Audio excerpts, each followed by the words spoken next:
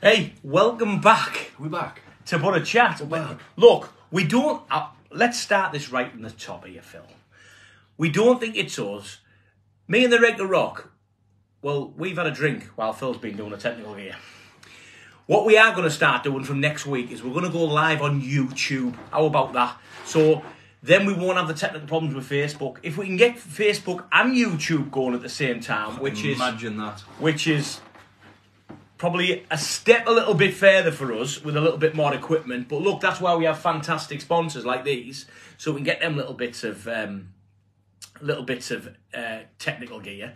So if we can go live on YouTube next week as well as Facebook. You'll be able to watch us on the YouTube channel live and put your comments in, and you'll be able to watch us on the Facebook and put your Yeah. comments In theory, in. yeah. In theory, yes. Either way, even if we're just YouTube, you can still get your comments in, can you? So let's start again. Episode nine. Have we got oh, it? again? It's my job. Oh, s- sorry, sorry, sorry. Take two, Paul. Go on. Here we go then, episode 9 of Boro Chat live from the SN Norby Social Club. Over to you boys, take it away. There you go. S- Live and direct from the Redcar Rock there behind the camera. So look, quick intro. The Rambler got the Regular Rock myself, Yaff in the gaff. Thanks to the sponsors, mi- Tony and Baz, BT Promotions, help us out. We're going to be buying a bit more. co- Phil and Mark, Teesside Travel. Teesside Travel, Yaff, Phil, Gaff. Phil and Mark, Teesside Travel, don't message me. Yeah, stop messaging Paul Berg. Listen, thanks to the club as well, uh, the committee and the members of the club. I, I thank them all the time. Why? Because they let us come here. The uh, members embrace us, and you know they're always asking us about the, the the Boro and chats and things like that when we're downstairs. And like I say, like, subscribe, hit the notification bell on YouTube. Boro one, Huddersfield one. What did I say in the last, last live? What, what was I saying? let's quickly go through it because I know it was stopping and starting. Look, I was at the game. Phil was uh, has watched the highlights because he couldn't be there. Um, one thing I did forget to do, which I did on the last one before we had a technical problem. I was super duper producer Courtney. Uh, Courtney is saying she's not very well and her little son is not very well either, so she's not here tonight. So Courtney, Oscar, get yourselves uh, well really soon, and then I don't have to write my own script, Courtney. Because I cannot read anything you've written. anyway, getting back to it. First half thoughts. I was there, like I said, Phil watched the highlights. I won't lie to you, I thought the Boro were good first half. Uh, I was a little bit on the fence about the new guys maybe starting and doing, starting a game in the championship against a, a rough, tough team who come and set the, the, the, the stall out like Huddersfield, Warnock's Huddersfield. But to be fair, I thought the new signers done well, Phil. yeah, it's it's it's hard not to agree. I think we did well. Um, I think Michael Carrick after the defeat to Millwall, after the defeat to Coventry, um, it was more about not only bringing those two new lads in um, that and, and needing to start. It, it was more we need to make sure that we don't allow Huddersfield to come forward constantly and, and put us under pressure at the back because that's where I think uh, we've not been scoring goals, but I think we've been so weak at the back so early on this season. I think we've, we've conceded five goals now this season, um, which is a hell of a lot in three games. Um, but it was more about allowing the new lads to gel with the team, the the team that we we know and we love to gel with the new lads.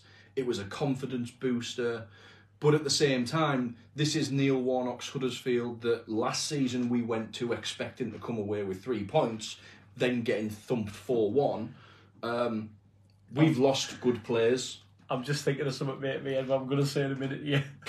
So I'm giggling They've, before I've even said it. we've, we've lost decent players that we had last season for that fixture. They've not really recruited anybody, um, but they came here to give it a go as Neil Warnock does. Um, so I thought we did, first half, I thought we did really, really well. I mean, how have you remembered all that from the first take? you should be a presenter on on, the, on another show. You. On a What, fucking- Sky Sports? no, you Well, should. I, I can do TV, I can do radio. We can't. let- We can't. We can't let him out with his High contract. We, we can't let him out with his contract. Look, I'll tell you what.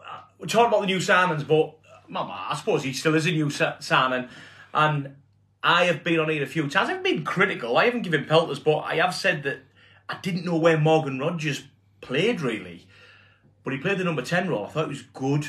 And bear in mind, we're only talking about the first half here because I actually thought Dael Fry played really well in the first half. I knew it wouldn't be long. All I knew it. Well, I know Dael's watching because I can see him there. So I know. And look, to be honest, I'm not here to blow smoke up Dael's bum. Dael probably You, would, you wouldn't think so. Dael will probably upset be upset with me in the second when I talk about the second half. But I thought the first half didn't do nothing wrong really, and and people will automatically go, oh, the goal.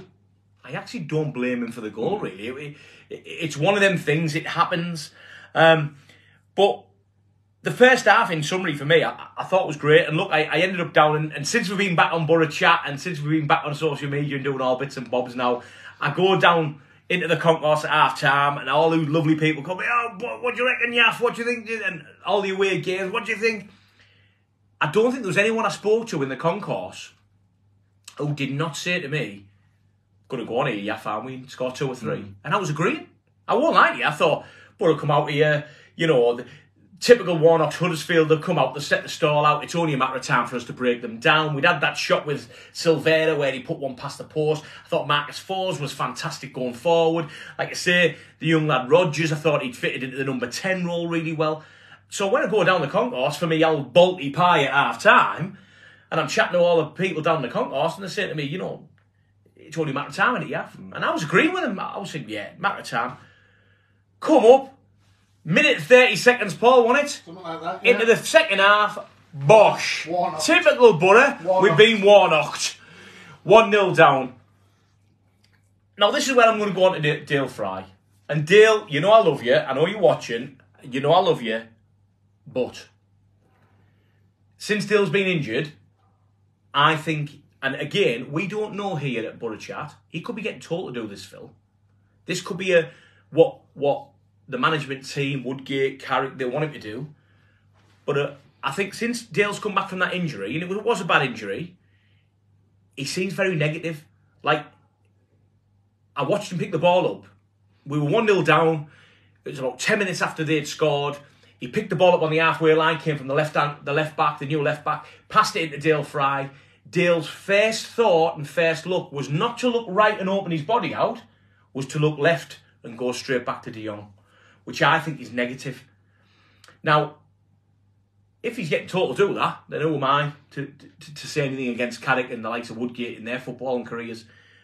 But as the paying punter, looking at it, and I'm not like the punters who were on BBC Tees, we'll come on to that very, very shortly, because Yaff made a little appearance on there on Saturday. I'm not like the punters who, who rang up on BBC Tees and slated it.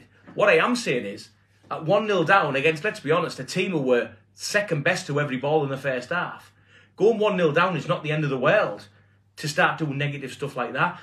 And I thought that was more of get away from the goal. I don't blame Dael at all for the goal. You know, he's a defender, things like that are going to happen.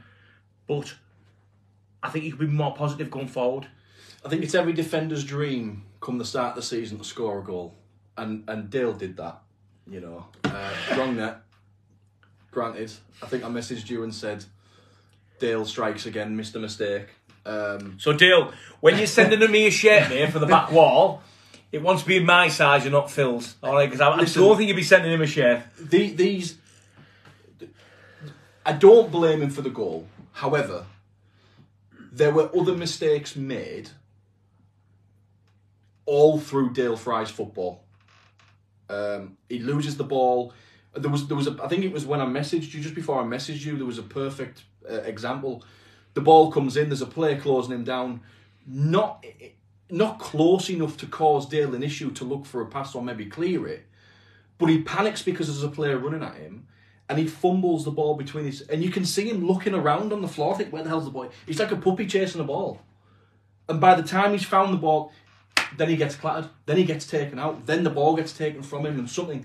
And and you see that more and more and more as you watch Dael Fry play. Well, you do if you're you, Phil. You don't if you're me, because look, defenders make mistakes. And Yeah, those who played the game, everyone has opinions. we make mistakes. However, it's all about opinion, and that's why we have a good show here. That's why our mates at people like Boro Breakdown are going for I'd, awards. I'd love him like to, to I'd, I'd love him uh, at West Brom to go for a corner, He needs a goal. Like he, And he just doesn't score enough goals. get Dael, his head and, on it, and, he and is score a goal. And and, and I, will- with every other Boro fan, I will be jumping and screaming and chanting Dael Fry's one of our own. And because in the moment that's what you do. But I'll, po- just I'll poke there's- you in the eye when you do that, though, at West Brom. so, look, before we go and speak the rest of the second half, Phil, any, any, first of all, can everyone see us on on, Yeah, on social Get media? up, boys. You were back. If it works, uh, well done, boys. Way, it's working.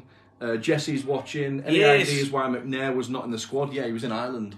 Not sure why, but I think he was in Ireland Yeah. at a junior football team. He took or- the knock the week earlier, didn't he? Yeah, he took Yeah. he took him. So- well, we've that's not official, Paul, but you are right. He did take a knock, and I think the club have allowed him to go to some tournament. I think. don't? Yeah, I If, think it's, that's what if it it was. was concussion Um, protocol, then you've got to have two weeks. he's got to have so so many So time off. that. Yeah, Eddie That's. Fearon says decent games, uh, decent game. New signing looks like decent players. Uh, Latte Lath looks a handful def- for defenders. A few goals under his belt, and he'd be banging them in. Uh, Ibrahim Tanner says that own goal was an absolute fluke, and I, I, I- I I agree. agree. I just like ribbing him for it. yeah, I, agree, Um, let's I mean, be fair though. How many times was Fry pushing up and getting the numbers to pressure them? That you know that is also true. It- it- there were there were times during the game where he was making forward runs to try and force the rest of our squad up the pitch to apply some pressure. So. You know, you, you, you win some, you lose some in, in that respect. And then Matty Wilson says, I think Coburn needs some minutes. I think he'll make a difference. What a great player. So going back to the second half, I mean, great comments again by by all of them. you know, like I, I say it all the time. You can never pull the wool over a Boro fan's eyes. You know, the, the, out, out them as I know, and I know I'm a Boro fan, and I'm going to stick up for them all. But to be fair, there's a lot of fans out there from Championship clubs. You know, I, I won't name names. Leeds United, who, uh, who, who, who a bit like you know some Premier League clubs think that the you know the sun always shines out of people's bottoms, but. Boro fans generally nine times out of ten get it right. Going back to the second half, like I say, uh, I thought Dael was a little bit negative, but going on to other players, um, was it Eddie who said about the Latte Lath? Yeah. Eddie totally agree because I'll tell you now, we have now got a striker who can who's quick, he can create his own space, and by the way, loves a tackle. You know, doesn't man sliding in alongside. I think he, we were talking about before we came on air. He won the corner by just sliding down the side of the player. Didn't even touch the ball. Ball goes out. Referee gives the corner. Doesn't mind getting involved. What I would say is his touch is not the best, but we did have a player called on loan called Cameron Archer, whose touch wasn't the best. wasn't, no. Um, so I, I agree with Eddie. I think I think he's at the ground running that lad. Thought the left back, um, what's his name? Lukas Engel. Lukas Engel. I, I thought he looked a bit leggy towards the end. I thought Yeah, got, got to like grew into the game. Yeah. but it, it was clear that ninety minutes was probably Yeah, he got about far for him. 65 minutes and just looked very leggy, didn't Yeah. he? So, so look, and it'll take him time again. But look, going back to all the players, Sammy Silvera, like I've had some conversations today with the lads, some lads at, at work, and lad I've grew up with all my life. Graham said to me, uh, he said two things actually. He said one about a transfer speculation. He said one about Sammy Silvera. He said, "Look, I don't think you need to band on." And I said, "Well, I'll tell you what Silvera looks like to me. He looks like the very first time I seen Isaiah Jones. Very exciting on the eye, going forward, wants to take people on. Now, will the Buddha knock that out of him? I don't know. The problem is his end product. His end product. I mean, on another day, and again, this is not with my rose tinted glasses on, because remember, they're only cosmetic, these, I don't need them. But not with me cosmetic uh, glasses on. On another day, we're gonna be we're gonna come away from that, Paul, five one up. Oh. You know, you know, and then it's a Yeah. total different outlook. We don't get the idiots going on BBC tees, slating everybody, and having a pop at Dana Mould uh, uh, and, and um, Maddo saying they haven't got a clue. They should all be sacked. And, You, you know, Rome wasn't built in a day. Yeah, and, and I think Michelle Best was asked a question there. She says, Good evening, Michelle. "Jesus, that never gets old." Carry on, mate. Hey, we've done that on a few channels She, now. she said, "Can't enlighten us." Um, so she, she says, "Why does Sammy Silvera keep missing easy goals? Is it because he leans back when he goes to shoot?" No, I think there's a really simple answer I to think that. he's just desperate to score I, that first goal. I think he is desperate Over trying. Yeah, I, Yeah. I think he's he's just he's like a puppy that's been let off the lead in a field for the first time. He's just desperate to score in front of the fans, feel what it like, experience the feeling. I think Silvera, you've just said there, he reminds you a lot of Isaiah Jones. When Isaiah Jones is praised by the fans, Isaiah Jones performs well, and I think Silvera is is going to be very much one of those players. only young lad, Adama? Traore was the same. yeah. He's going to need the arm, not just of the manager, but the fans. Just let him know that you're there. Let him know that you you're geeing him up, and, Yeah. and I think he will perform. and I think he will do good. But he's he's one of those players that needs the arm rather than the force Yeah. that can just run through and shoot and the act poms. Look, and, I, I, I thought Marcus Forss was brilliant, and, and, and I'll be honest with you, I'm going to come on to Crooks in a minute. I, I didn't understand the change at all. Um, but I agree with Sammy Silvera because I, very exciting player to watch. I think when he gets one goal, he's going to want to get a few. Yeah, yeah, you know. I I think he's that type of player. yeah, I agree. The only problem with that is, as teams get to know him more, They'll just They'll start- probably double up. Double up. Yeah. that leaves a gap somewhere else, doesn't it? Yeah. Uh, you're talking about Crooks there for for a second, and Tony Costello's come on and said, "Keep Crooks out the team. He slips us down so much." Cozzy, I'm going to Just come on my- it in a minute, just my mate. opinion. Yeah, It's, Cozzy, it's- I'm going to. It's I'm gonna valid come- opinion here. I think. Yeah, yeah. But Look, Cozzy, I totally agree. Didn't understand it, mate, at all. Like I say, I was there on Saturday. I seen the board go up, and I just thought, well, unless we're going to say Crooksy, stay up top, tall man in the box, we're just going to pump it in all the time and chase the game to try and get the win. But we didn't. He just went into that sort of free role, what Morgan Rogers has. But let's be honest, he's not Morgan Rogers' age. He's not as mobile as him. Certainly So nice build. I, I, I just didn't. I just, I just didn't understand it because he at all. Because you, you know, it didn't help us at all. It, it, it, and again, look, I'm not sat here. I'm not sat here saying I know anything better than Michael Carrick. You know, the man's done everything in the game, and I, I totally trust him All wholeheartedly. He'll have his points why he brought Crooks on mm. and why he thought that, you know, Marcus Forss had to go off, for instance. He'll have his thoughts why Latte Lath had to come off with three minutes to go in a game, and I'm well aware we get that little bit of extra time now with all this time added on. But Isaiah Jones, by the way, other than the, the pass to Silvera, for me was a world class pass. If you ever watch that back on on the highlights, it is absolutely pinpoint perfect. Defender didn't touch it because it's going the back of his own net.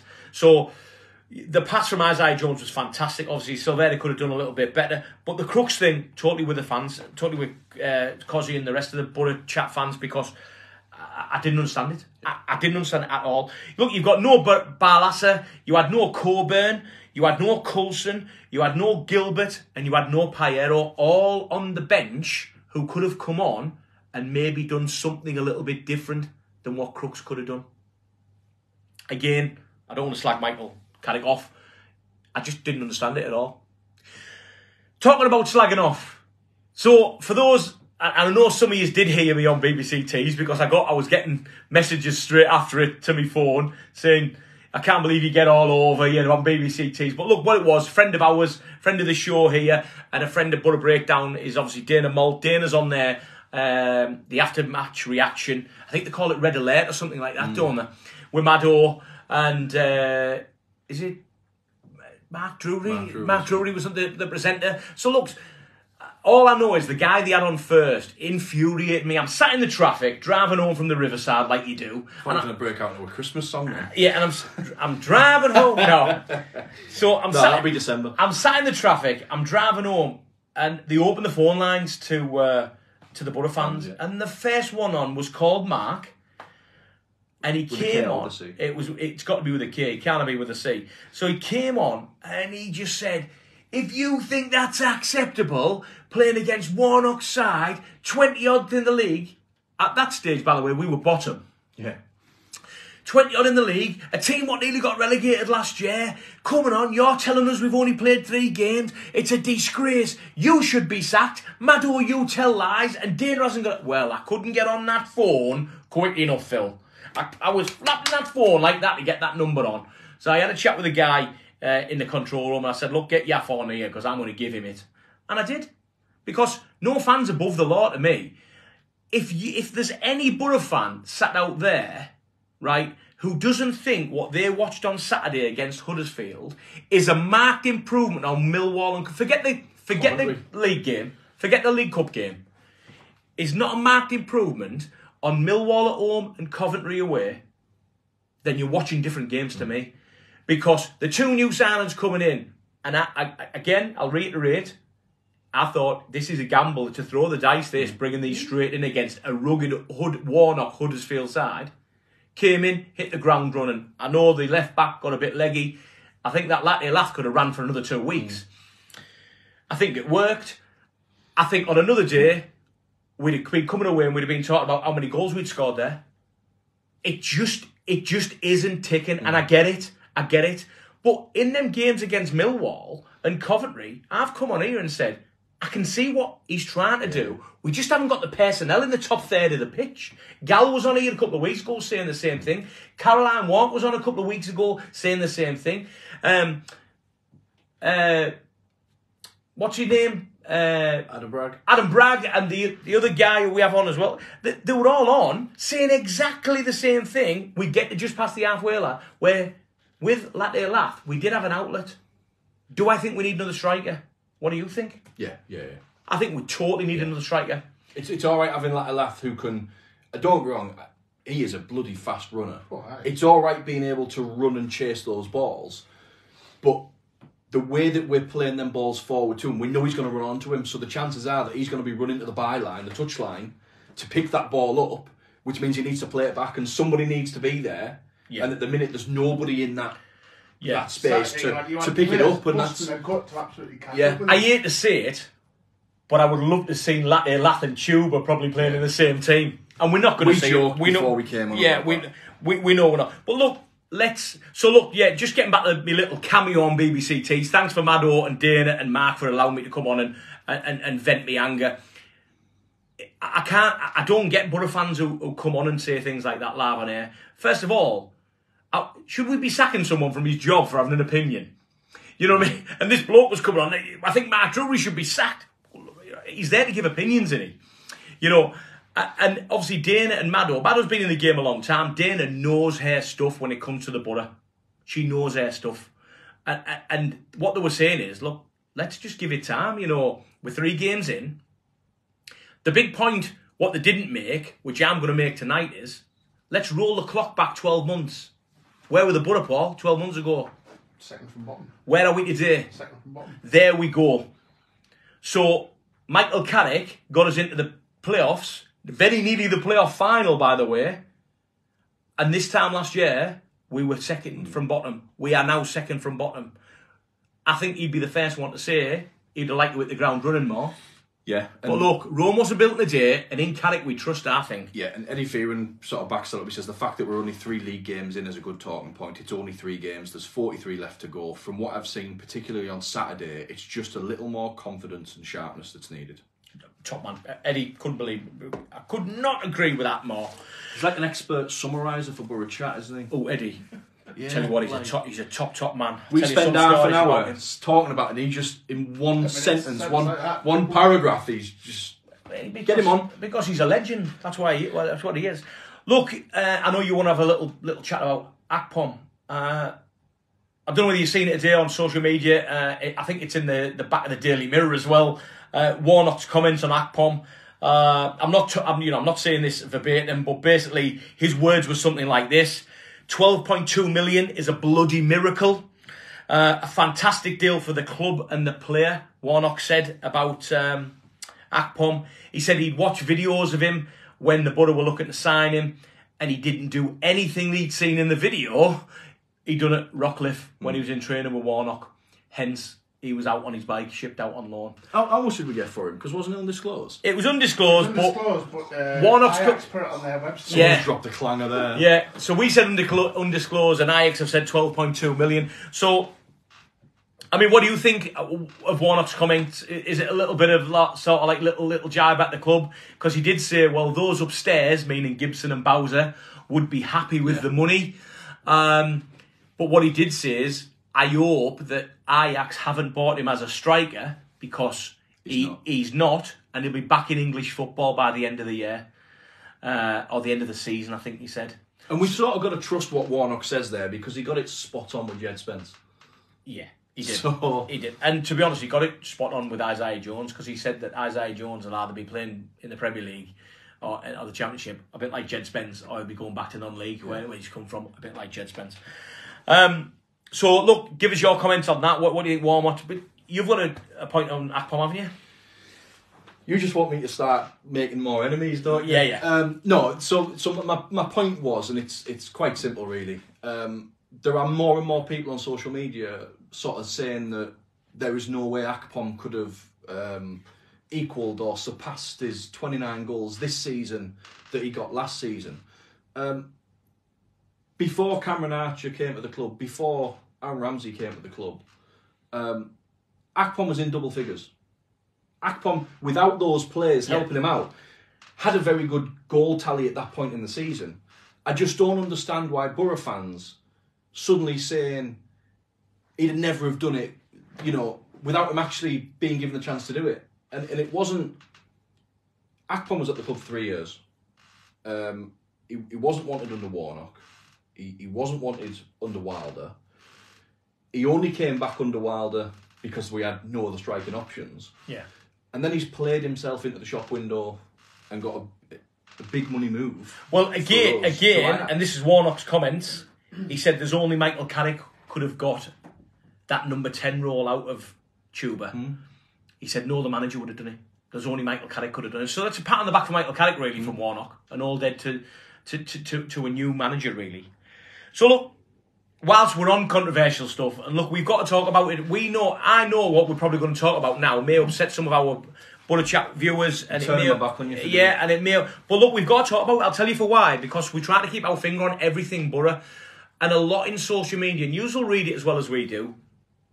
There's a lot about Mason Greenwood uh, at Man United at the minute. We we all know that Man United are doing this internal investigation. Well, it's, Phil. it's concluded today, hasn't Uh, it? it's concluded today. They're just waiting for a decision. No, they've, they've, they've announced that as well. oh, have they? Yeah, so have I they've- missed that? You've missed that. They've announced. So that. what's the what's the decision?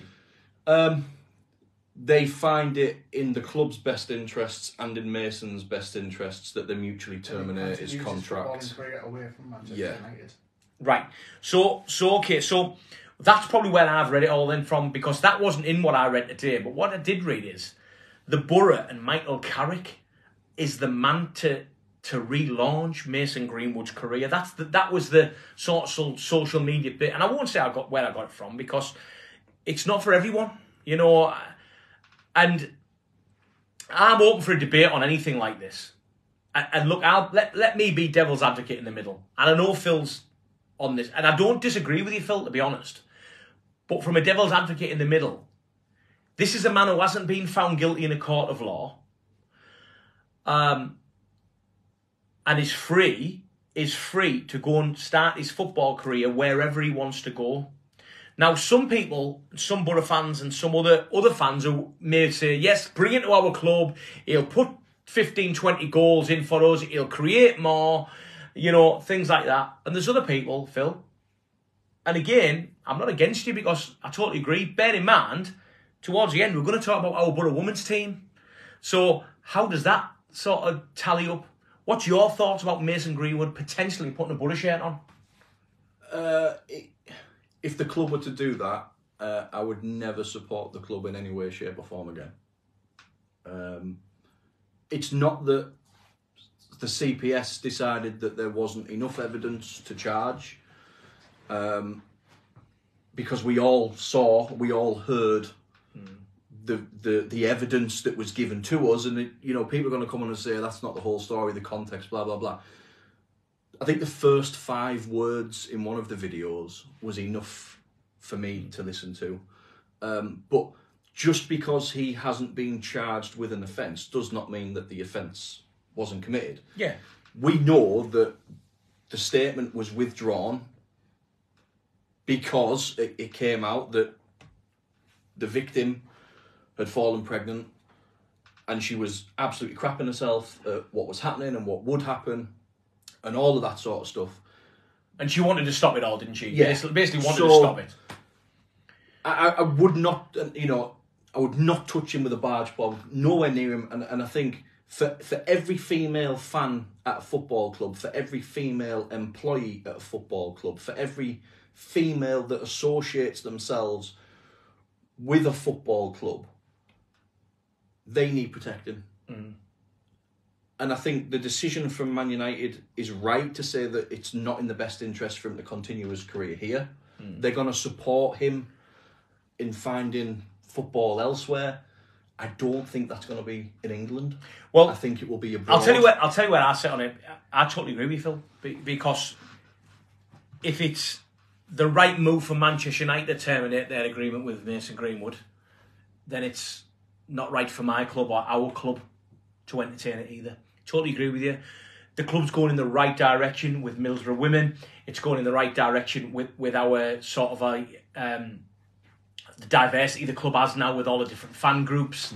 You know, eth- ethnicity and, and, and, and your gender, and they've gone Inc- inclusion in inclusion. general, yeah. you know. They're going down. They're doing all the right things now. They're ticking all the boxes, and to bring someone like that in, regardless whether he's never been found guilty in a court of law, and again, I do stand on that bit the side, and I go back to the Benjamin Mendy thing. Benjamin Mendy was acquitted by a jury. You know, uh, 12, 12 of his peers acquitted him. Yeah. Is a different it's different to, to the Mason Greenwood. Now, look, we're not making any asper- aspersions. We don't know whether he's guilty or not. That's and, and we know that this will have touched an air with some of our, our Boro fans tonight.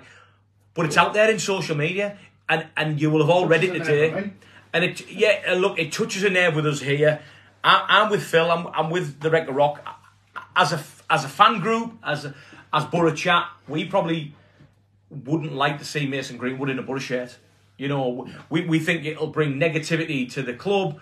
I think it'll bring negativity to the team. I think it'll bring neg- negativity to the Riverside. I'll tell you for why. Because you would always have an away support, guilty or not. And you only have to look at Ched Evans. He got tortured at every, still does to this day, because mud sticks. So it, it, then chance will be shouted regardless of where he goes. And there's probably only one place for Mason Greenwood to resurrect his career. And it's probably where all the money is in Saudi Arabia. Yeah. I think I think you're right when we spoke about that off there.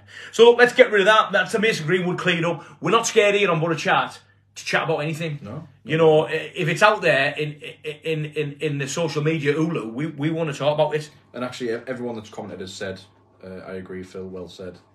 Um, no way, can't do that. Wouldn't want him anywhere near the club. We don't want Greenwood anywhere near the Boro. I just, I just think So- it brings, it just think it would bring a cloud over the club. Anyway, a uh, couple, couple of other things. Couple of before we quickly chat about West Bromwich Albion. I I'm not going to chat too much about them because obviously we've got a show next week and, and we'll be chatting all about it. But um, we've got a couple of players being linked with today. One, one is Glenn Kamara from Rangers. Before I go on to Mowatt, who was on loan with us last last year. What do you think about Glenn Kamara? Have you- Have you seen that? So, if you haven't seen it, Glenn, Glenn Kamara is a 27 year old midfielder. Uh, he's played over 100 times for Rangers up in Glasgow. 50 international uh, appearances for Finland, Phil. Um, and I think he started ch- chatting to the Redcar Rock. Mr. Stato himself told us he started his career at Southend in Arsenal as a boy. So he's been in England a while. He's been in England and Great Britain a while. Um, so with the fact that we've had no no chat about the injury to Tommy Smith, we don't know how bad it is, how long he's going to be out. There's been nothing on that. We are aware, again from the Redcar Rock, be- he's had his spies out. Matt Clarke is now out on the field kicking a ball, and he's you know that could be the answer to our extra centre half because I'm, I'm in the camp that I think the Boro need another centre half. I think we need another centre forward. Matt Clarke could be the answer once he's fully fit. Um, so, what's your thoughts on Glenn Kamara? Do you know about him?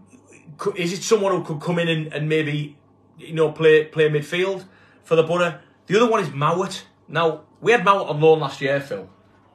Now, I've been a big a big supporter of. Let me get it right. Is it Barazla? Did I get it wrong? You got it right earlier. didn't you? Barlaser. Off air, go. he said it right every single time. Right. Barlaser, innit? I Ignore always the, get, ignore the camera. Right, yeah. So any, so I was chatting to my mate at work today. Uh, again, lad I've known all my life, Graham. He said to me, he said to me, uh, you know, we were chatting about Mowatt, and I said, oh well, you know, and, and he just put it like this: if you're one 0 up in a game, who would you bring on? Would you bring Ba- Barlaser. Barlaser on, or would you bring Mowatt on to see the game out? Who would you bring on, Phil? Barlaser. Right, and, and I'm saying that because we had this conversation He's out saying there. that because I'd say Mowatt. That's I know, I know, I'm If. I'd have said Mount there, it's, that's I'm saying Mount because we had that conversation earlier. So if I go back to what I originally said, I said Barlaser. I think he's a much better ball player. However, your argument out there before we came on the show was that's right, but Mowatt is that tough tackling, uh, put all the fires out sort of player. I think Barlaser is has got everything that Howson has, but I hate to say it, at Howson's age, he looks quick around the pitch. Barlas at the minute looks a little bit flat footed. Now, whether that's an, an injury he's carrying or whether that's just the way he plays, I don't know. He looks flat footed and slow to me. And you can't have Hackney and Barlas playing together like that. At least Howson knows that Hackney's going to do his running for him, and they've got this understanding, haven't they? Where Barlas wants to bomb forward a little bit and he wants to play Which, which is a shame because in the pre-season games, um, Yeah, he was, he was, was doing it Real well. Betis, Barlaser and, and Hackney? They, they actually looked like they'd been playing together a couple of years. But you're you're right. The the time that they've spent on the pitch now the season started, it, it's not sort of. But I mean, look. there. I mean, look for the Boro. We've got a little bit of cash on the hip. Mowatt, you know, he's in the last year of his contract. You probably get him for less than a million quid. I think that's not a bad signing, in my opinion. I think it would be a safe signing. Yeah. because he, he would come in and do a job. He might not do the job. he's been around the block in the championship as well, liking. so he's good for the dressing room. Well, he, he was. He's, he wasn't. Wasn't he captain? Captain somewhere, and then he, he, he was at he's West, captain at West, Brom, captain at West Brom, wasn't he? So you know that's another player that we can bring in. You know, Lenihan captain's experience. Tommy Smith was captain uh, where he was. Yeah. You know, w- w- we're doing well at bringing in experienced championship players that have that leadership quality.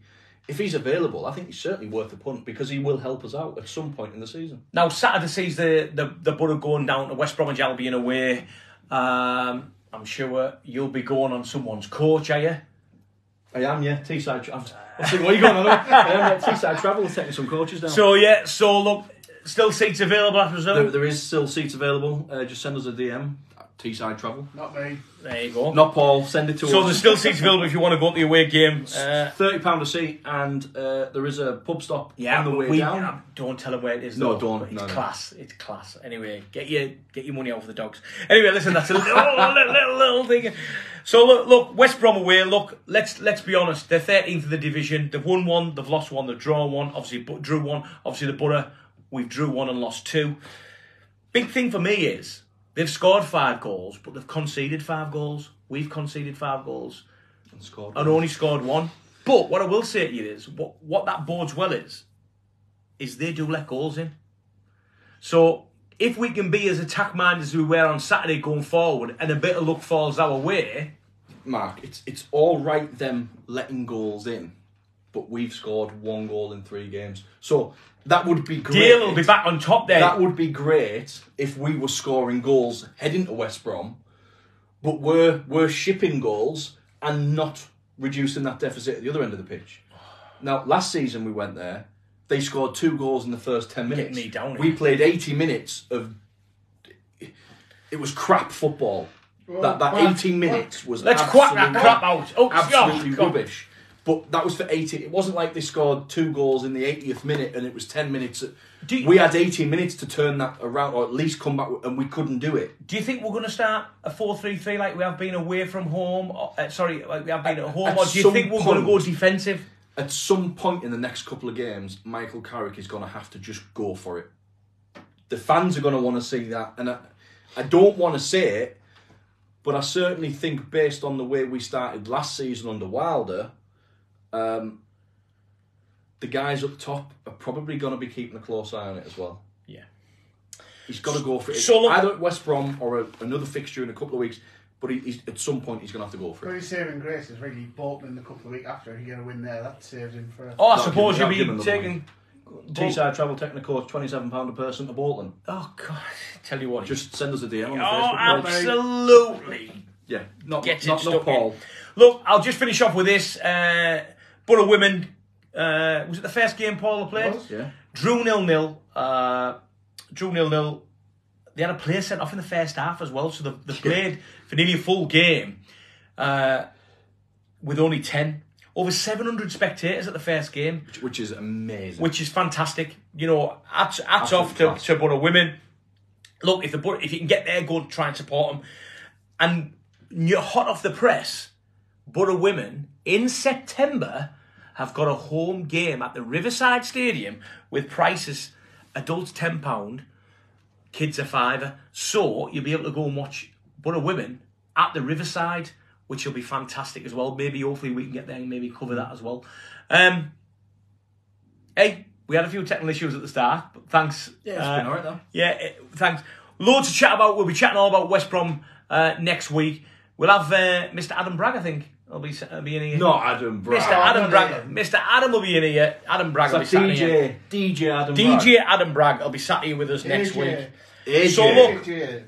Get it right. So look, from all, all us here at Boro Chat, Courtney, Oscar, get yourselves better very soon. We will see you all next week from the Redcar Rock, the Teesside Rambler, Yaff in the Gaff. See you next week. See ya.